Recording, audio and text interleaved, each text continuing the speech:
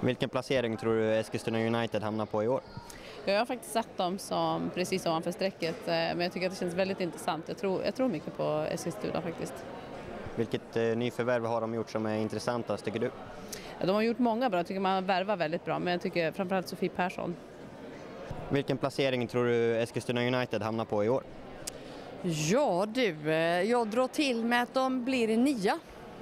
Vilket nyförvärv tycker du är intressantast som de har gjort? Sara Tunebro eh, kommer från trakten och har spelat väldigt många landskamper.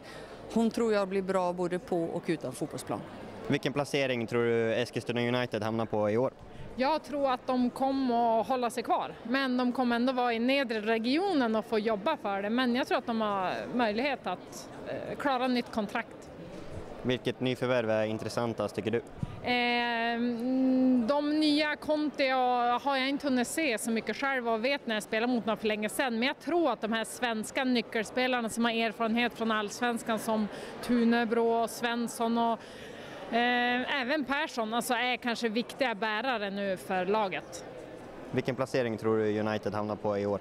Eh, det är ju svårt att säga men jag tror definitivt att de eh, kommer klara sig kvar. Jag tycker de har värvat, eh, gjort intressanta värvningar så det är svårt att säga exakt placering. Men de, eh, de blir kvar. Vilket nyförvärv är intressantast? Det är svårt eh, att säga. Jag tycker Tunebro är en väldigt viktig värvning för dem och likadant Annika Svensson. Och sen så är det ju spännande med den eh, italienska spelaren Conti.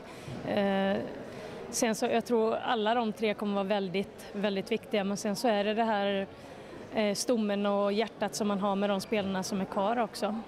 Vilken placering tror du United hamnar på i år? Oj, oj, oj, det blir svårt. Eh, jag tror att Eskilstuna faktiskt kan vara med och eh, göra det riktigt bra. En rakplacering är svårt att säga, men åtta kanske, åtta, nio. Vilket, ny, Klarar sig kvar garanterat. vilket nyförvärv är intressantast?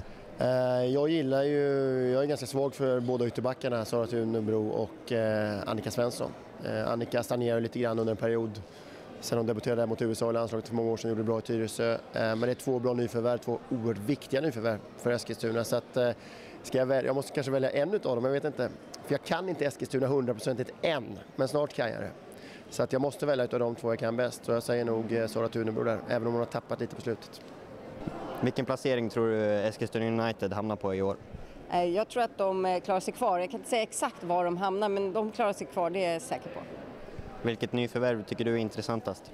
Ja, det viktigaste, de viktigaste nyförvärven för dem det tror jag blir Annika Svensson och Sara Tunebro med deras rutin och ledaregenskaper. Det kommer vara oerhört viktigt för dem.